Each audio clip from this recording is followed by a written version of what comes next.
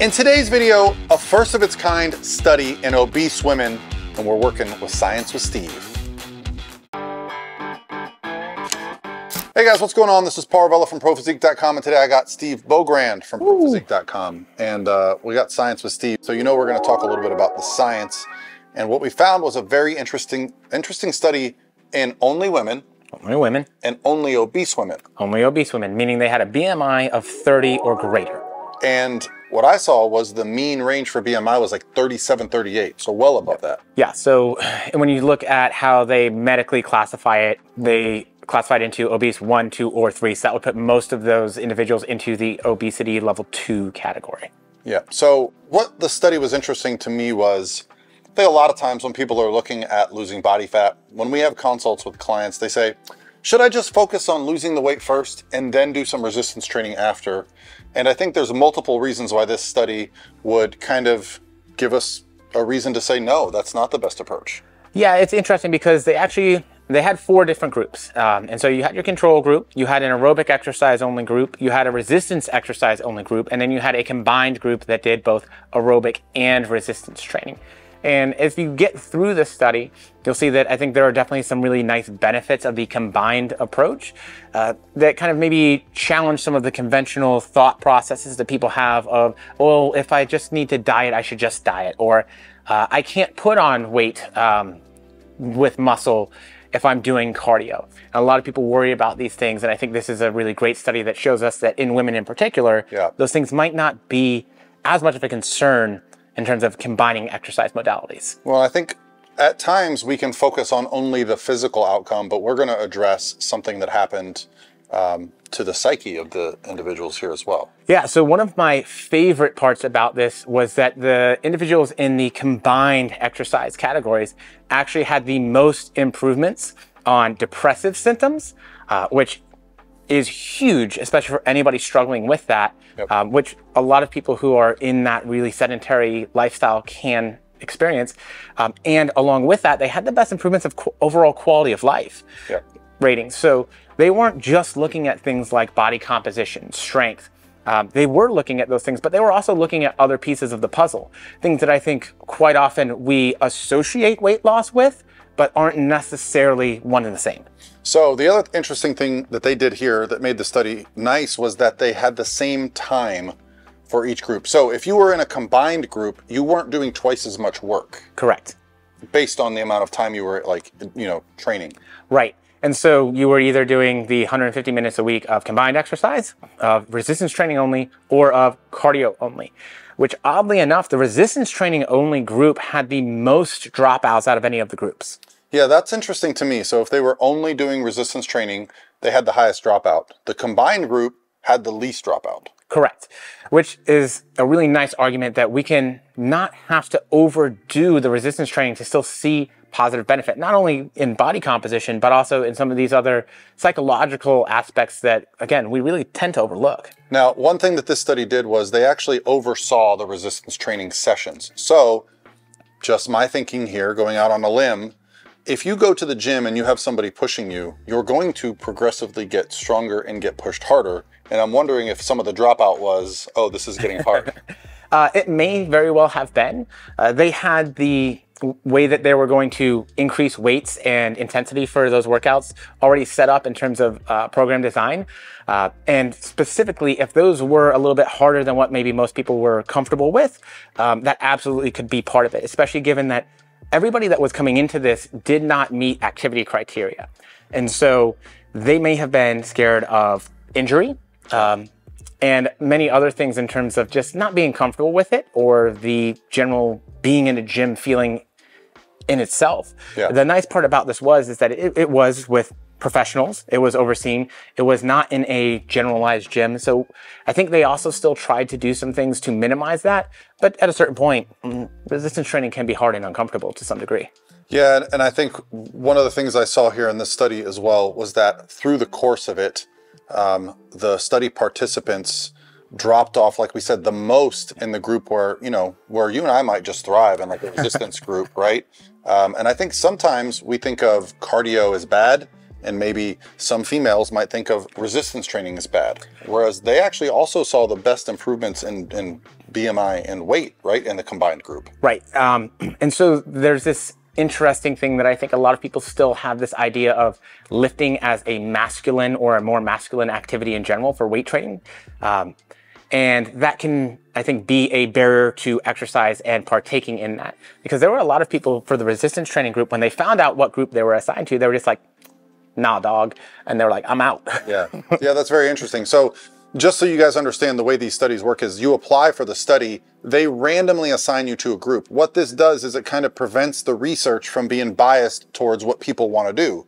They're assigned to a group. Now, there's nothing preventing them from going, oh, I got the group that I didn't want to get. I'm not coming back to the study. He and I have both participated in as participants and as assistants in studies. He's actually authored, co-authored a, a paper. So you, you, you understand that it's challenging to get someone to get up go into a room and get studied at sometimes five, six, seven in the morning, right? It's it's not that easy. The body composition analysis, I think, is actually the hardest part. Yeah. Because if you want to ha- make sure that you are fitting the criteria for how to make that as accurate as possible, it does include those individuals getting there typically fasted very early in the morning um, to make sure that those pre and post testing numbers are correct. But even making sure that people are exercising on a normal basis can be a challenge. Typically, they're recruiting in the colleges. Yeah. Uh, and so for this one, it's really no different there. So it's more convenient for these individuals, but it's still not necessarily a convenience factor for everybody. And that's there's always going to be a barrier for that. And time, of course, is one of the reasons that they are listing for why people have dropped out. Yeah, and I think the other thing to consider, so, you know, we as a company coach a lot of females. We have a lot of people enter our challenge and I think the idea of resistance training, women don't have the same capacity, generally speaking, to put on muscle like a man, right? We don't have the same hormone profile, we don't have the same muscular profile. So resistance training for women, it just seems to have this compound effect where they're able to lose body fat. You know, we've seen regularly in our 90 day challenge, women lose 30 pounds while they started lifting weights. Yep. And so when people look at a fat loss and they say, okay, this person lost 30 pounds in 12 weeks or 90 days, the math doesn't add up. They had to be in this big of a deficit. And I'm like, the body is dynamic. Yes. And that's why I like this study because it's obese women who started lifting and doing a cardiovascular component with time constraints and saw the best progress of all the groups. And with zero outline on dietary interventions. They did not change anything in terms of these women's diets either. So they saw improvement simply from activity, simply from lifting and expenditure. Which I'll, is I will say this all the groups that did something saw an improvement. But what we saw was for this length of time that this group that, that did the combined effort had the best, which when you extrapolate that out, it would probably be significantly better because the more time we have with resistance training, the more adaptations we're going to get, more lean body mass, improvements in metabolism. Also, something interesting, the combined group reduced their sitting time pretty significantly. which for me is so huge. Uh, in a time when human beings are becoming more and more sedentary with how jobs work, um, and most of us not recognizing that simply the amount of time that you sit during the day is a risk factor for disease, is just absolutely like remarkable. It is such a big deal and one that I think a lot of people take for granted. Yeah. So when you reduce that sitting time, you reduce your risk for some of the comorbidities that are happening um, that we see as large risk factors and why a lot of people, you know, maybe die at younger ages nowadays. Yeah, I mean, you would never consider sitting to be like smoking cigarettes or drinking alcohol, but when you look at the facts of, you know, I have a study on my desktop right here that I was just looking at. Since the 1960s, um, as much as 60% of daily working inquired a physical component. Now it's as low as 20%, and that was as of 2010. And I'm going to suggest that since 2010, it's gotten even less because Think about how much you sit per day if you have a job. You sit in your car, you sit at your desk, you come home and sit on your couch. And if you don't force yourself to get up and move more, then that can become a problem. And, you know, I've documented it from having a treadmill at my house.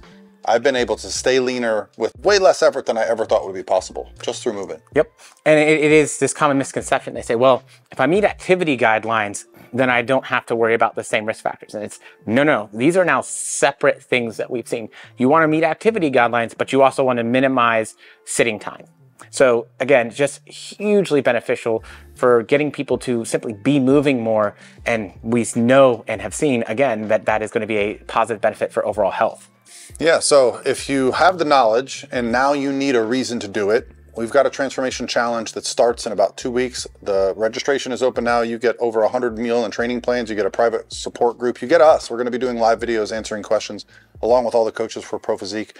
Uh, that's the goal. You get a community of people that are like-minded and you get the results that you're probably not going to get on your own if you haven't to this point. So knowledge plus some deadlines, it's a very good combination.